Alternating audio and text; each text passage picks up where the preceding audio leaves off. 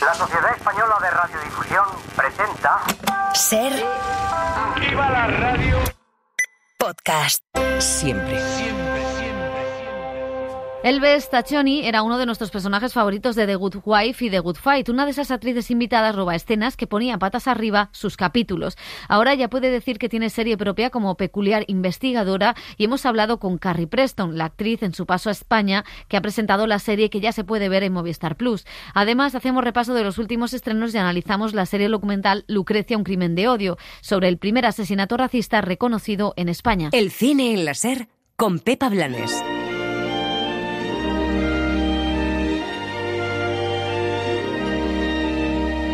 Las series. Summer journeys to Niagara and to other places aggravate all. Y en televisión, eh, las últimas semanas hemos tenido entrevistas glamurosas y la verdad es que no hayamos encontrado pues eh, el hueco de hablar de algunos de los estrenos. Es lo que vamos a hacer hoy, pero además nos vamos a reencontrar Dani Garran con uno de los personajes favoritos eh, de la ficción. Sí, además me ha hecho mucha ilusión hacer esta entrevista, ¿eh? Y más tengo que decir. Así me Achuchables. gusta. Es lo más El sueldo del emocional mundo. del hacer. Eh, ahí lo tienes. Sí, porque no hay un sueldo económico, quieres decir. No, no como un extra, bueno. Eh, es un personaje excéntrico, pero la verdad es que ella es resolutiva a partes iguales. Elves Johnny fue la secundaria más querida de The Good Wife y si ya por entonces pues nos hubieran anunciado que iba a tener su propia serie, lo cierto es que no nos hubiera extrañado. Pues no, porque se lo merecía, la verdad. La conocimos hace 15 años en The Good Wife, esa maravillosa serie legal protagonizada por Juliana Margulis, en la que interpretaba a una abogada tan despistada como perspicaz que robaba todas las escenas en las que salía. Los King, los creadores de la serie, también quisieron que apareciera como estrella invitada en The Good Fight, ese spin-off más político, eh, capitaneado por Christine Baranski. Un total de 19 capítulos entre las dos series y un Emmy a Mejor Actriz de Reparto le han dado a lo que Elsbeth se merecía, su propia serie. En esta ocasión se convierte en investigadora de crímenes en Nueva York. Bandas de blanqueamiento dental. Yo revisaría su boca porque no conozco a nadie que se blanquee la boca poco antes de suicidarse. Y si tiene el diafragma puesto, es que estaba esperando a alguien con el que iba a acostarse. La, la actriz que Importantísimo, interpreta... ¿eh? Importantísimo. La actriz que interpreta a Elsbeth, Carrie Preston, pasó por Madrid hace unos días, donde ya anunció que comienza a rodarse la segunda temporada, que constará del doble de episodios, 20, y nos contaba lo emocionada que estaba con este proyecto. I love playing Elsbeth because she's so joyful. Me encanta interpretar a Elsbeth porque es muy alegre, positiva, curiosa y brillante. Me gusta cómo aborda las cosas de manera poco convencional, inusual. Es un regalo para mí porque también puedo vivir la vida así y pensar así me convierte en una persona más curiosa. Es interesante sacar al personaje del mundo legal y ponerlo en un mundo policial, como un pez fuera del agua. De esa manera puede utilizar todas las habilidades que tenía como abogada para tener éxito en este nuevo entorno. Esto hace que la serie parezca nueva. No es un spin-off de The Good Wife y The Good Fight. Es una serie nueva en sí misma. Espero que sea emocionante para el público, porque para mí es emocionante como actriz. Emocionante y mucho más estable, decía la actriz que podía pasarse más de un año sin saber si iba a seguir interpretando al personaje y con esta serie pues ya puede vivir más tranquila y a la hora de indagar en Elsbeth ahora puede también aportarle muchos más matices. When you're a guest star, you know, you're there to serve. Cuando eres una estrella invitada, estás ahí para servir en la serie de otra persona, para ayudar a impulsar esa historia. Nunca estás en el centro de la trama porque ese no es tu trabajo. Eh, Pero para esta serie podemos sacarla de ese papel secundario y ponerla justo en el medio para que se convierta en el plato principal. Ha sido genial porque he aprendido mucho sobre el personaje. Hay una libertad que surge de poder relajarse, respirar, estar presente en el personaje en momentos más vulnerables, cosas que no vimos antes. Para mí es un regalo confiar en que el personaje seguirá sin que yo tenga que preguntarme si lo hará después de no haberla interpretado durante un año o más. Elsbeth, como decíamos, ahora es un procedimental policial en el que los espectadores sabemos desde el principio quién es el asesino.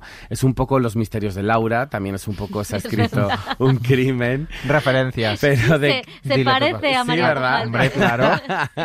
Pero de quien más bebe de la serie es de Colombo. De hecho, los Kings se inspiraron en este personaje, eh, refugiándose en la serie durante la pandemia, huyendo de otras pretensiones. Right. Uh, Columbo was a little bit before. Colombo fue un poquito antes de mi época. Lo conocía porque era un personaje muy famoso.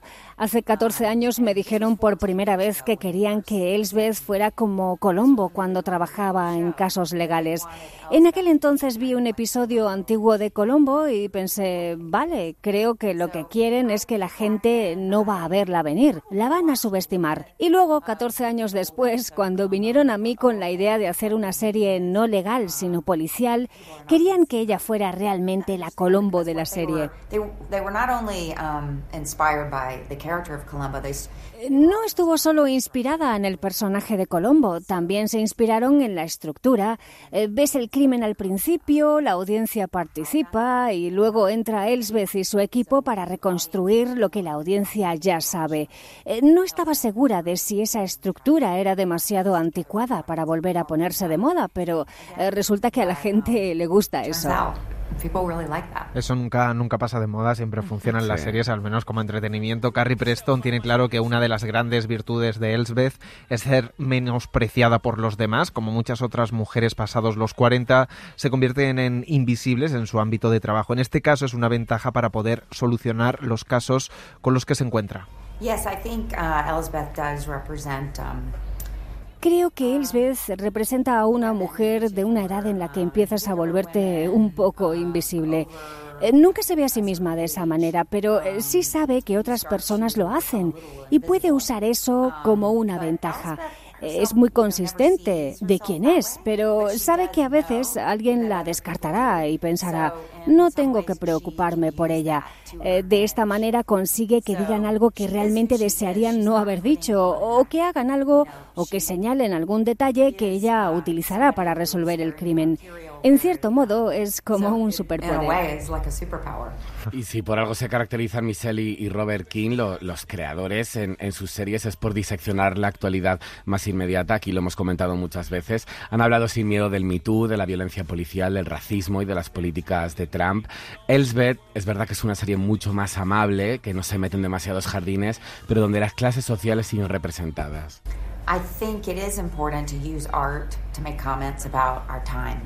Creo que es importante utilizar el arte para hacer comentarios sobre nuestros tiempos y Robert y Michelle King son unos maestros en eso.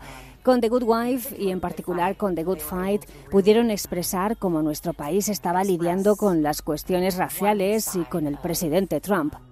Lo aprovecharon como una oportunidad para explorar todos los lados del asunto. No solo tenían su perspectiva liberal, siempre se aseguraron de incluir también las otras para que pudiera haber diálogo. Y creo que lo mismo ocurre con todos los problemas con los que nos enfrentamos. Lo que hacen con Elsbeth es alejarse un paso de la política. Eh, Pero debido a que son quienes son, pueden leer algunos comentarios como criminales de la clase alta que intentan salirse con la suya.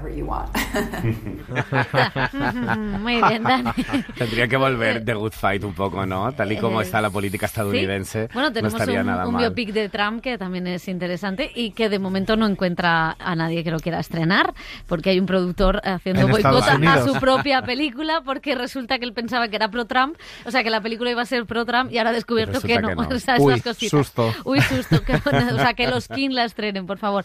Bueno, la verdad es que es curioso, ¿no? Porque eh, es verdad que Colombo era mm, subestimado, ¿no? Y luego aceptaba, acertaba con, pues, con variables eh, inverosímiles todos los crímenes. Y es un poco lo que pasa aquí, esa premisa, con un personaje que eh, podrías pensar, bueno, a lo mejor cuando tiene un biopic es irritante porque es demasiado tiempo un personaje demasiado excéntrico.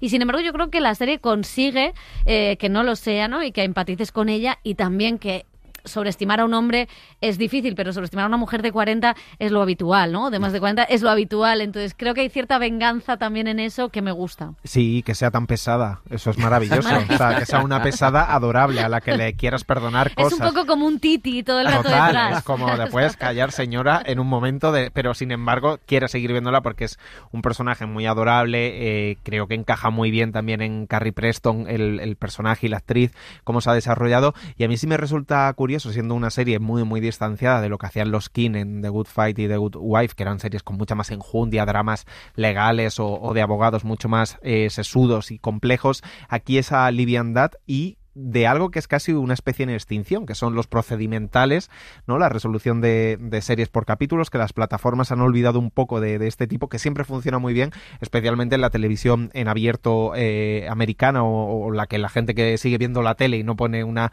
una plataforma y que siguen funcionando y que tienen muchos eh, seguidores.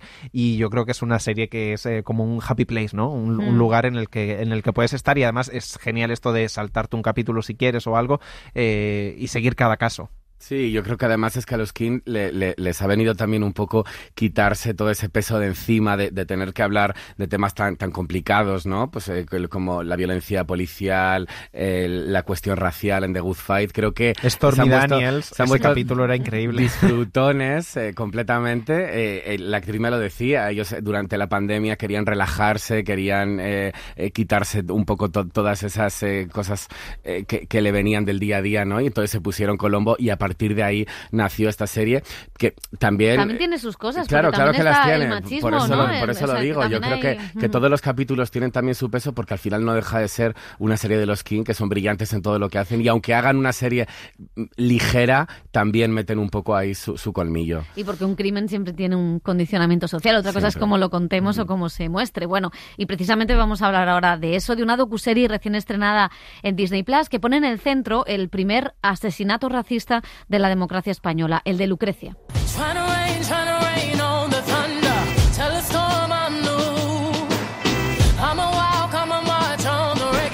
Lucrecia, un crimen de odio, es el título y cuenta el clima y el contexto que se vivía en España en 1992 con esa fachada de modernidad que acompañaba las Olimpiadas de Barcelona y la Expo de Sevilla. Lucrecia, el personaje protagonista, era negra, migrante, trabajadora del hogar y hacía solo un mes que vivía en España. Vivía en una discoteca abandonada llamada Four Roses, lugar donde fue asesinada a tiros por un grupo de neonazis. Su historia conmocionó a la sociedad española y provocó una reacción social sin precedentes. Lucrecia Pérez podía ser cualquiera de esas mujeres que emigraron a España. Mujeres solas, pobres. En este caso se llamaba Lucrecia, la que yo no conocía, pero se podía haber llamado de cualquier otra manera.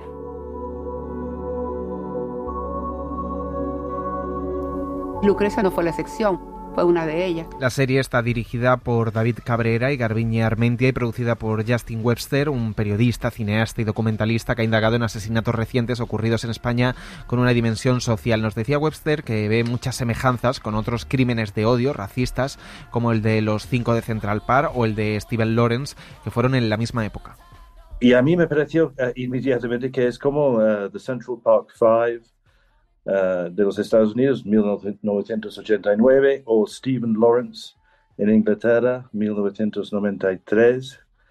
Uh, es una historia, obviamente, um, a este como impulso de etiquetar todo con crimen como true crime. Uh, no soy muy fan de, de, la etiqueta exactamente, pero bueno.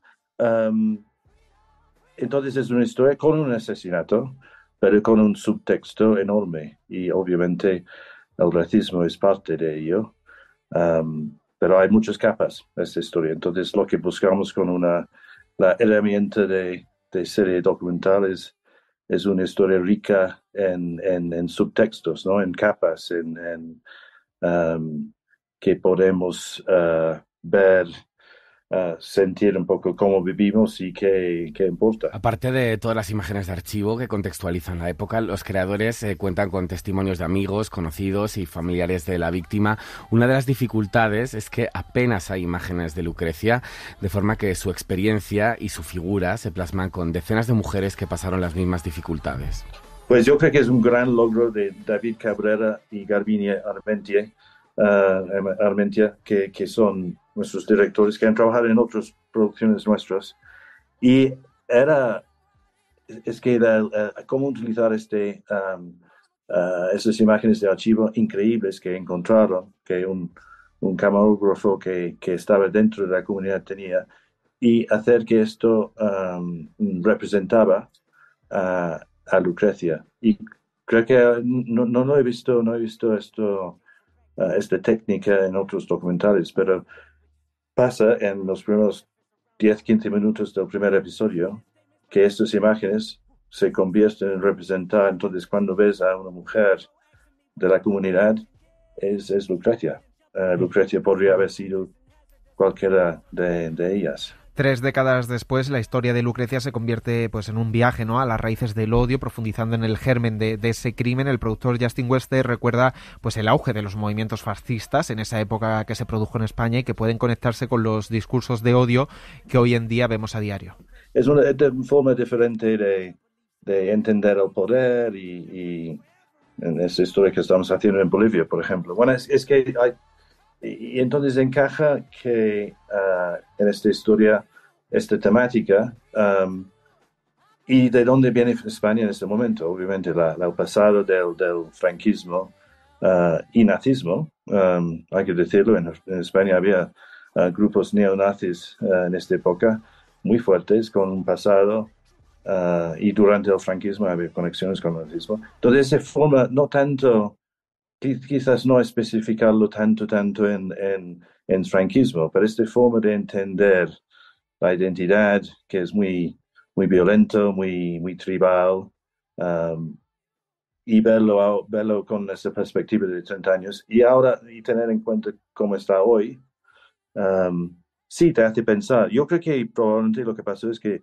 hubo este golpe este, del neonazismo, acampaba a sus anchas entonces. Y luego, después del, caso de Lucrecia, se, se enteró un poco, se desapareció de la superficie, pero ha surgido otra vez, ¿no? Pues eh, quizás la parte más interesante, esa conexión de, de, aquello que pasó. Para empezar, que pasó en el año 92, que es un año importante porque fue el año de la modernidad y España no era tan moderna, era racista. Para continuar, porque la transición dejó ese hueco, eso, eh, o sea, no, no eliminó el fascismo ni a los neonazis. Y para continuar, porque después de ese asesinato de Lucrecia, que sí que es muy impactante ver cómo la sociedad española reacciona, eh, ahora tenemos esos mismos delitos de odio eh, de alguna manera en el centro, no solo de España, sino de toda Europa. Entonces, me, a mí me parece muy, muy, muy interesante. Aparte, de esa mirada a las mujeres, eh, a las primeras migrantes, porque fueron las primeras migrantes que venían a trabajar de internas en las casas de Aravaca, ¿no? Y ese primer racismo que encontraron, racismo-clasismo conjunto. O sea que me parece que dentro de, de los retratos de este estilo eh, es el que más profundidad ha metido, ¿no? Él siempre, es eh, Justin es Wester es las ficciones, ficciones no, series documentales, como le gusta llamar a él, que ha estado detrás, pues siempre hay una, una complejidad y un respeto y, y una forma de tratar el material increíble. A mí me ha sorprendido, especialmente porque no conocía mucho de, esta historia, ¿no? Sobre todo hay un pasaje en el que dicen, es que en esos años, en el 92, no, no se alquilaban pisos en España. Es decir, que, claro, que, que, yo no, lo, no, no era consciente de esto, ¿no? De que no, a una dominicana no te van a alquilar un piso, un español, Ahora para que tú vivas, claro. Ahora tampoco se alquila a las personas extranjeras. Y, esa parte de la selección a, a, la hora de la vivienda sigue, ¿no? Entonces, pues, ¿qué íbamos a hacer? Pues es que éramos internas. El domingo era nuestro día libre y mm. nos congregamos en una plaza o tenían que malvivir en esa discoteca abandonada. Entonces creo que, que tiene mucho, mucho enjundio esta historia y cómo, cómo le sacan partido en, en, el sentido de bien, ¿no? A la hora de tratar no solo el racismo, el auge de movimientos neonazis, eh, sino un poco cómo, cómo la sociedad y un poco la política también estaba un poco a verlas venir, como que no eran conscientes de todos estos problemas que estaban en la calle y que les explotaron en, en la cara y es interesante verlo con la perspectiva de hoy y los paralelismos que pueda haber. Yo creo que está muy bien narrado, que, que, que, pasa muy bien por, por ese hándicap que es el no tener imágenes de ella y, y a mí me sorprende mucho todavía esos comentarios ¿no? de, de, totales que hace la gente por la calle, de, bueno, los negros que se vayan, no los queremos, no queremos que estén en, en, en la plaza de, de nuestro barrio.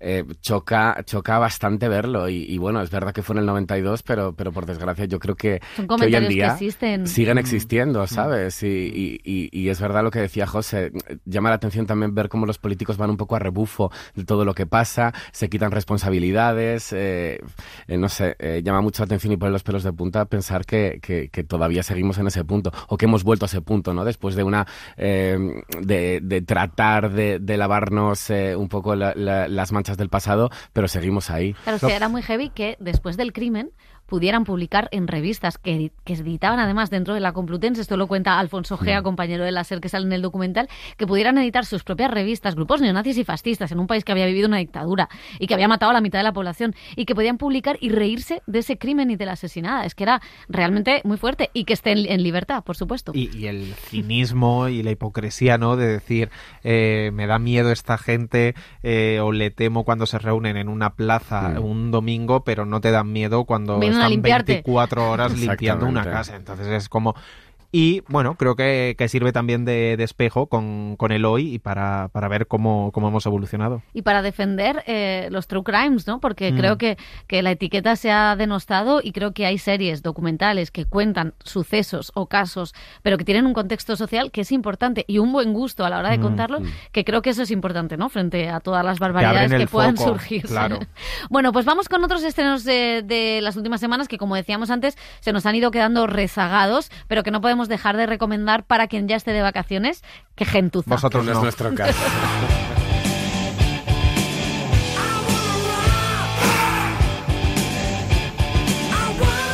Bueno, pues empezamos con la cuarta temporada de The Voice, que está ya en emisión de semanal en Prime Video, y yo la verdad es que la estoy disfrutando mucho. La serie creada por Eric Kripke y basada en los cómics de Garth Ennis comenzó como la parodia más salvaje y transgresora de los superhéroes y poco a poco ha ido derivando en un reflejo político al que la realidad está a punto de superar. Al igual que en el mundo real, la ficción llevaba tiempo coqueteando con el fascismo y el totalitarismo y ahora, sin complejos, ha dado el paso definitivo hacia las fake news, las conspiraciones y el populismo más extremo, adelantado, adelantando por la derecha a la realidad y siendo mucho más terrorífica. En las próximas dos horas demostraré que Luz Estelar, junto con Oprah y Tom Hanks, han creado un servicio satánico de entrega a domicilio. Si pides un perrito caliente, te llega un niño. Un taco, una niña. Un combinado y te llega un niño obligado a someterse a cirugía trans. Y un refresco es un chute de adrenocromo. Todos sabemos que Oprah está en arresto domiciliario desde que se sentó con Harry y la cabrona antimonárquica de Meghan Markle. Mejor corte. bueno, no nos hemos olvidado de una de las últimas series de Apple TV Plus, Presunto Inocente, la nueva adaptación de la novela de Scott Turow, que ya fue llevada al cine en el 90 por Pacula, con Harrison Ford como protagonista. En esta ocasión es Jake Gyllenhaal el encargado de dar vida al ayudante del fiscal, que se convierte en el principal sospechoso de un asesinato. Uno de sus puntos fuertes es que la miniserie ha experimentado pues una actualización para no perder credibilidad con sus dosis de giros de guion y un suspense que se mantiene intacto durante todo el metraje. Si tenemos en cuenta que detrás del guion está David E. Kelly, esto no es ninguna sorpresa porque es el creador de series como Big Little Lies o Anatomía de un escándalo. Se encontraron varios juegos de huellas en su apartamento, incluidas las tuyas. ¿Cuándo fue la última vez que estuviste en su piso? Estuve en la escena tras su muerte. Pero llevabas guantes. ¿No es cierto? Tus huellas estaban en su dormitorio. Y nadie te vio entrar allí. ¿Cuándo fue la última vez que estuviste antes del asesinato? Eh, teníamos casos juntos, juicios. A veces trabajábamos fuera de horario y nos reuníamos en su casa. ¿Trabajasteis en su apartamento? Éramos colegas. Y seguimos en Apple TV Plus porque la plataforma, hay que decir que sigue empeñada en dominar el campo de la ciencia ficción. Materia Oscura es una adaptación de una novela protagonizada por Joel Edgerton y Jennifer Connelly, que como las buenas series del género, utiliza la ciencia, en este caso la mecánica cuántica, para hablar eh, de lo no vivido y de otras cuestiones filosóficas. Universos paralelos, múltiples identidades y un ritmo adictivo para una de las ficciones que sin mucho ruido ha adelantado por la derecha al problema de los tres cuerpos como serie más inteligente ¿Cuántos cuerpos? del género de este Carlos año. Cuerpo. ¿Y falta. cuántas derechas? ¿Qué es esto? Una prueba ¿De qué? de que no estoy loco. Con el tiempo, la marca del anillo de Buda desaparecerá. Y solo me quedarán los recuerdos de la vida que tuve. Suscríbete al Cine en la SER. Escúchanos en directo en la SER los sábados a las 7 y media de la mañana y los domingos a las 3 de la madrugada. Cadena Ser. La radio.